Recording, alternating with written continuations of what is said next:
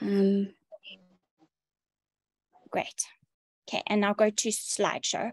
Thank you very much, Dr. Matseme, for giving us a talk. She's bravely, boldly, we're go, going where very few ComServes go, giving us a presentation um, for our academic meeting this morning on constipation in children. Okay. I'm going to ask everybody else, please just mute yourselves just so that she can start. Okay, good morning, everyone. I'm Dr. Matseme, and I'll be presenting constipation in children. Um, so constipation is a disorder in which a child passes infrequent bowel movements, has painful defecation, or passes large caliber and hard stools that require excessive straining. It can be acute or chronic, and we usually consider it um, acute if symptoms have been present for eight weeks or less, and then chronic if constipation has been present for more than three months. It can be functional or organic. Um, functional meaning that there's difficulty passing stool or infrequent um, defecation or incomplete defecation without evidence of a primary anatomic or a neurological cause. The diagnosis is usually made clinically. Then um, um, the average um, number of times a child should pass stools varies a lot between children, but what has been determined as the mean is for children aged between zero and three months, we expect them to pass um, at least three stools a day or anything between five and 40 stools per week. And then for children three years and older, we at least expect them to pass one stool a day or three to 14 stools per week. When diagnosing functional constipation, we can use the Rome 4 criteria, um, which basically states that um, there should be two symptoms present for at least one month for infants and toddlers up to four years of age. Symptoms being two or fewer defecations per week, history of excessive stool retention, history of painful or hard bowel movements, history of large diameter stools, presence of a large fecal mass in the rectum. And if the child is toilet trained, there should be at least one episode per week of incontinence, and then also history of large diameter stools that may obstruct the toilet. And then for children and adolescents um, age four and less, um, it's pretty much the same. Um, two, at least two of the following symptoms once a week for at least a month two or few defecations in the toilet per week, at least one episode of fecal incontinence per week, history of retentive posturing or excessive volitional stool retention, and then history of painful or hard bowel movements, presence of large fecal mass in the rectum, and history of large diameter stools that may obstruct the toilet. And then also if the symptoms cannot be adequately explained by another medical condition. Sorry, Siri is recording me. Okay. Sorry. Um, and then the causes of constipation can be divided into functional and organic. For functional, there are certain mechanisms involved. Um, decrease in propulsive force in the colon and the rectum. Um, if there's impaired rectal sensation, if there's a functional outlet obstruction, and also if there's behavioral withholding. So some of the reasons why a child may withhold stool is if um, there's painful defecation, for example, with anal fissures, um, hemorrhoids, and even sometimes sexual abuse. If there's been a change of environment or change in the child's routine, if there are psychosocial stresses, um, some emotional disturbances, and also if there are some cognitive problems. Then looking at the organic causes for constipation, um, these will include abnormalities of the colon and rectum, for example, if there is um, anal stenosis, if there are spinal cord lesions like spina bifida, neuropathic lesions like Hirschsprung's disease, which is basically um, a motor disorder of the gut caused by failure of neural crest cells to migrate completely. So the colon is then aganglionic.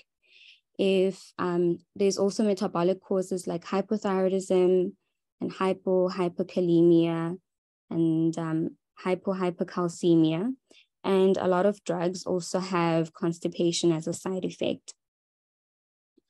Then um, it is also possible for a child with constipation to have um, encopresis. And how this happens is when a child withholds stool, um, there's stool retention, the rectum will accommodate. Then eventually that rectum will become atonic or desensitized, meaning there will be larger stools um, accumulating in the rectum. The rectum will then further dilate, and this will cause the anal canal to shorten. So, with the shortened um, anal canal, stool can easily escape, and the child will end up swelling or staining themselves. Then, with presentation um, on history, we need to find out um, the duration of the symptoms, the duration of the constipation, the stool frequency and consistency. And we can use the Bristol stool chart for this. So this is what it looks like. And it helps when um, you can show it to the parent or the child so that they can adequately describe to you the type of stools that they're passing. We have type one all the way through to type seven. And then um, you need to ask if there's any blood on wiping. Um, is there any mucus in the stool? Is there painful um, defecation or are they hesitant and reluctant or frightened um, whenever they have to go to the bathroom? You also need to ask about withholding behaviors or toilet refusal. Also ask about previous med medications that they've tried and whether or not they've been effective, find out about feeding history um, and also dietary history. Um, um, we also need to ask about soiling or even urinary incontinence because this can signal um, a neurological cause for the constipation. And then also family history um, of conditions like celiac disease and hypothyroidism. Then on physical examination, obviously you'd have to examine the child systemically from head to toe, do the anthropometry, um, check their growth, if there's failure to thrive, examine the back, look for neurological conditions like cerebral palsy. But when it comes to the abdomen, we'll look for tenderness, for distension, for fecal loading. Um, if you can palpate a mass, that's probably like a palpable that's um, feces in the left lower quadrant. And then also examine the perineum, look um, at the position of the anus, look at um, the skin around the anus. Are there any fissures, skin tags? Are there any hemorrhoids? And also check the anal tone. And then when you take history and when you examine the child, you need to look for red flags as well. Um, these include um, a baby who's less than six weeks of age. If there's been delayed passage of uh, meconium, children should pass, I mean, babies should pass meconium usually within the first 24 to 48 hours. Um, if there are ribbon-like stools, which could indicate an anorectal malformation. If there's weight loss or poor growth, if there's persistent vomiting, fever, anorexia, weight loss, and diarrhea, bloody diarrhea. Um, if there's an abdominal mass that's not consistent with the fecal mass, um, and then also if there's an abnormal perineal um, perineal exam, meaning abnormal tone or absence of um, anal wink, or if there's um, a sacral tuft of hair at the back. And then other signs is just a table showing other alarming signs. Um, this can include severe, another example is um, severe abdominal distension, which could signal indicate Hirschsprung's disease in a child in an infant, and also functional um, ileus if the child is very, very sick. And then if there's delayed growth, um, we need to look for systemic causes, example, um, hypothyroidism. Then investigations, like I said, this is a clinical diagnosis, so investigations are not routinely required. But um, if you want to assess the extent of um, the fecal impaction, or you want to look for um, an organic cause of the constipation, um, can send the child for abdominal x-rays, an ultrasound can be done, blood tests can be done if there's maybe um, systemic causes like hypothyroidism, so function, thyroid function tests and um, electrolytes like CMP can be done. And then we can also uh, test for celiac disease if there's family history. Um, I think in tertiary facilities or higher units, barium enemas can be done if there's suspicion of um, anatomical causes, a rectal biopsy, anal sphincter electromyography, which will show um, if there's failure of relaxation of the internal sphincter. And then there's also something called um, a Sitz marker study. So it's usually used if there's a patient, if you have a patient who's suffering from chronic constipation. It's a colon transit study that uses these tiny markers to estimate how fast or slow food or stools are traveling through the colon. So um, it's a capsule that will be given to a child on day one. And then on day five, x-rays will be done. So if there's passage of 80% of those markers, we know then that there's normal um, transit in the colon or motility. And then if those markers are scattered throughout the colon, um, it will usually signal colonic inertia. And then if they are accumulated or clustered in the rectum, then we know there's probably a outlet um, obstruction or dysfunction. Then after having done the taking history and having done the examination, there's nothing that's consistent with an organic cause, um, functional constipation can be diagnosed. And then with management, management can be pharmacological or non-pharmacological. I'll start with non-pharmacological. We need to first start by educating parents and caregivers on behavioral modification and also dietary modif modification. And we also need to intervene promptly to prevent the cycle of stool withholding that can lead um, to or worsen recurrent chronic constipation. So with behavior modification, um, positioning, um, we need to look at how the child sits on the toilet seat. So um, the proper way is for a child to have a footstool to ensure that the knees are higher than the hips and the child should lean forward and put their elbows on their knees. And then we can also place a toilet ring over the toilet seat if it's needed. So this is what it should look like. And then we can also train the child to do toilet sits up to five minutes, three times a day, preferably after meals. And then we can also do positive reinforcement with star charts or a diary. Then with dietary modification, um, we can advise the parent or the caregiver to increase um, fiber intake of the child so for infants and children younger than two, a reasonable goal for fiber intake is approximately five grams per day. So we can do this by um, giving the child vegetables, fruits, and fiber containing cereals for infants and children. And then there's also no need to increase fluid intake beyond um, the daily um, maintenance fluid requirements for the child. Then pharmacological, um, this includes disimpaction, which can be done with drugs or it can be done manually. And then we also have laxative therapy. Disimpaction just means um, clearing or removing the stool that has been retained um, in the rectum. And we can do it orally, via nasogastric tube, or even rectally. It can be done inpatient and outpatient.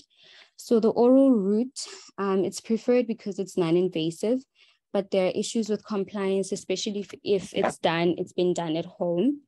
What we give is polyethylene glycol, um, uh, which is basically bowel prep. And then we'll say that there's been adequate disimpaction if what we're giving the child, the solution that we're giving the child, and the output, the stools are the same in color. And then if it's disimpaction that's done at home, we will say it's successful if um, there's empty, there's an either an empty or a small amount of stool um, on rectal examination. And there's also resolution of the mass that was there um, in the left lower quadrant if there was fecal impaction. And then this is a table just showing um, how we would give the sachets if they're doing disimpaction at home. And this is the drug that can be used, Movicol, I mean the sachet that can be used. And then the rectal route or an enema, it's faster. It's usually done inpatient, um, but it's very invasive and it's likely to add or contribute to the discomfort the child already has um, in relation to defecation. But if um, polyethylene glycol is not available, then an enema can be used. Then with pharmacological maintenance uh, therapy, we use laxatives. Laxatives can be osmotic, or it can be a lubricant, or it can be um, a stimulant. Osmotic agents include lactulose and polyethylene, polyethylene glycol. And stimulants examples are um, Senna. So these are examples of the drugs of the medication that can be given. And these drugs are usually schedule zero, so they can be, um, the parent can get them over the counter also at a pharmacy. Um, glycerin suppositories is the one that we have. So um, um, one suppository up to a one and a half suppository can be given as a single dose daily as required and one suppository contains about 1.26 grams of glycerin. And then it also has a, a liquid um, form. Glycerin also can come in a liquid form. And then this is an example on the left of polyethylene glycol. And then Senokot is also an example of um, a Senna, which is a stimulant. And then just to summarize um, in this table, uh, this flow diagram, after having done history and physical examination, if you assess the child as having functional constipation, you need to assess whether there's fecal impaction. If there is, um, you need to perform disimpaction for the child and follow it up with maintenance therapy. If that's not effective, you're going to reassess the child and maybe try a different medication if that's still not effective, then you need to probably look for an organic cause, do blood tests, and rule out things like um, Hirschsprung's disease. If there's no fecal impaction, you can just start the child on maintenance therapy.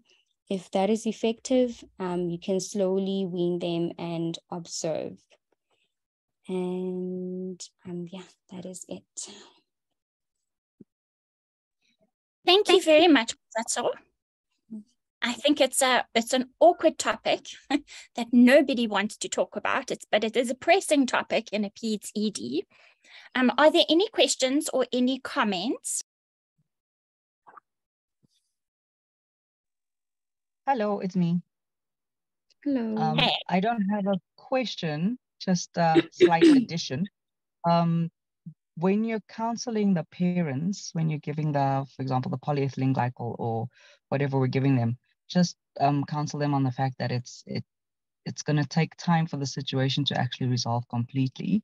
And maintenance, if I'm not mistaken, I think is usually at least two to six weeks that they need to continue the maintenance for. And then also when they're giving the poly- polyethylene glycol, um, the only way it actually works is if you drink lots of water. So mm-hmm. if you just take it and you, you don't add to the water content, it'll also it won't be as effective as it should have been because it absorbs water to help get things moving. So just encourage them to actually drink more water. Um, and then one one uh, one comment on that, Di, before you move on to the next comment. Very often, if you are using polyethylene glycol, so the GoLytely or Movicol or whatever bowel prep essentially is being used, it will depend on the duration of the symptoms as to how long you're going to use it for. And it mm. will also depend on the severity of the constipation for how long you'll use it for. It also has to go hand in hand with um, bowel training, again, retraining. but more than just water, very often they'll prescribe oral rehydration sachets. So because you when you when you lose a, a large volume of um, fluid um, in when you're using these um, these preparations, you can also lose a lot of electrolytes. So with water, with uh, with oral mm-hmm. rehydration sachets at the same time. Yeah, that actually makes perfect sense. And then just one other additional when you were saying for um, kind of behavioral things, uh, sometimes if kids are changing schools and stuff and maybe they don't want to go to the toilet at school also can cause them to be having um, constipation just just dig a little bit deeper and just try, like just to try and encourage um, with with that whole change of environment situation yep but thank you so much that was a great presentation thank you Thank you, Kgotatso. You are very brave. I'm, I'm so proud of our, our ComServes giving talks. Are there any other um, questions or comments from anybody who's joined us? Is going to save her talk as a PDF and she's going to uh, also share it with us. Um, I'm going to ask you can stop recording now, um, mm -hmm. Dr. Matseme. Mm -hmm. Thank you so much